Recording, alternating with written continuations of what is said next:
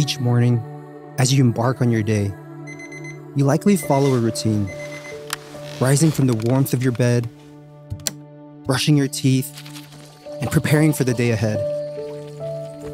Whether you're an early riser fitting in some exercise, or a laid back individual settling into a favorite chair, savoring a hot cup of coffee.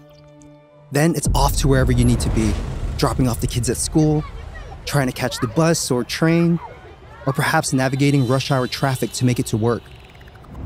Once you manage to navigate through the noise and craziness, you might find a moment for prayer. Now, these prayers aren't like a formal ceremony, they're more like a conversation that connects you with God. Topics can vary from sharing your concerns, hurts, desires, or simply expressing your thoughts and trusting that God hears you and will do what He says He will do. In a world that craves instant gratification, struggles with trust, and often rejects what it fails to comprehend, we find ourselves in need of hope. Thankfully, Jesus embraces us where we are, giving us the ability to engage with Him.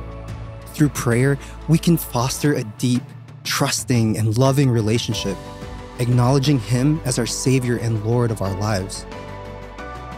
Consider this when Jesus becomes a part of your life, everything takes on a new meaning.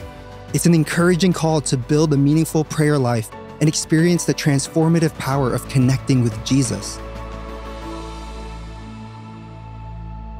Do you have a prayer life?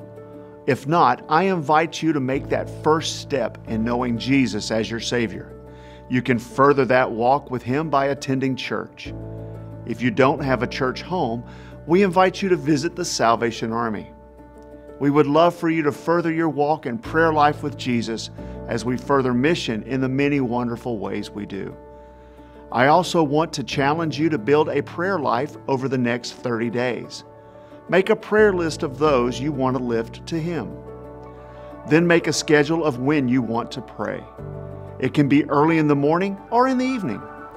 Commit to this over the next 30 days and see how your life is changed for the better by praying to the very Creator of the universe. How awesome is that?